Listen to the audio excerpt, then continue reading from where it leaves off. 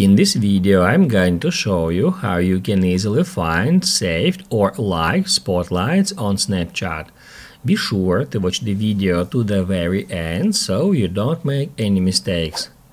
Let's get started guys, I'm gonna show you all the process from the beginning and first off we need to open up Snapchat app and then if we tap right here at that play icon uh, it will show us some videos here. We can easily like any video by tapping right here at that heart icon. And now let me show you how we can easily find all the videos all the spotlights we have liked. To do that we need to head over to our profile by tapping right here at our profile picture. And then if we scroll down right over here we can easily find my favorites.